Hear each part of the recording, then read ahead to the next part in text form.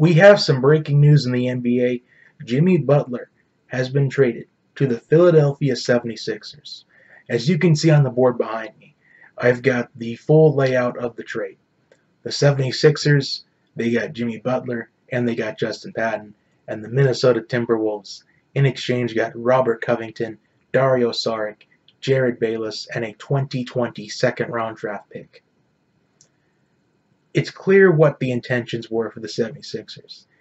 In fact, I think that Jimmy Butler's been on the trade block for quite a while now. And maybe there was reports out there earlier in the season, maybe the Rockets would try to get Jimmy Butler to pair up with James Harden and Chris Paul.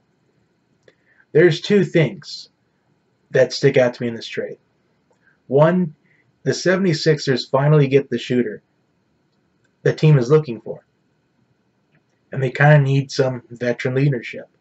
And Jimmy Butler, I think he can provide some leadership to this 76ers team.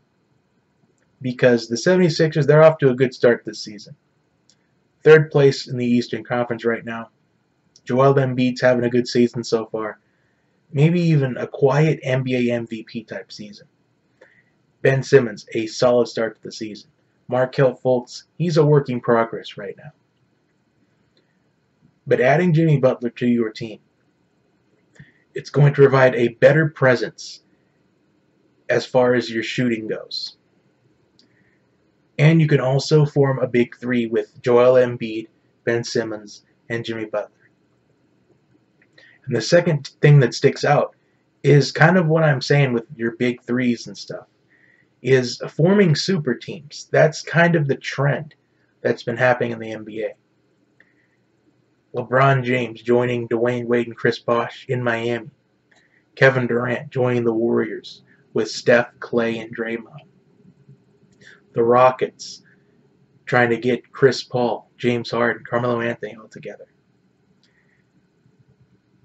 Boston Celtics, Kevin Garnett, Paul Pierce.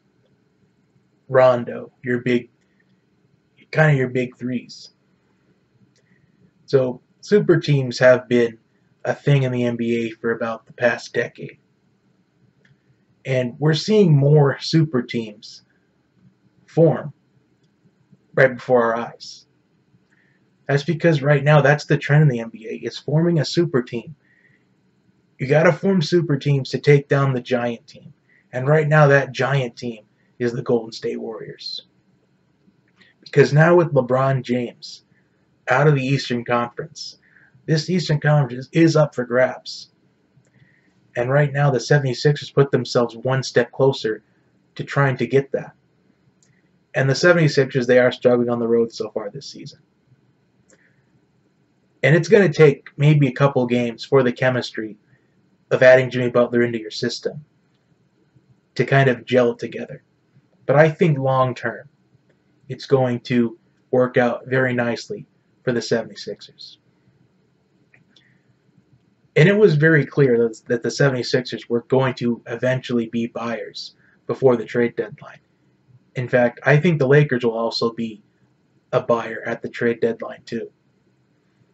Because right now they need someone to fit in LeBron's system.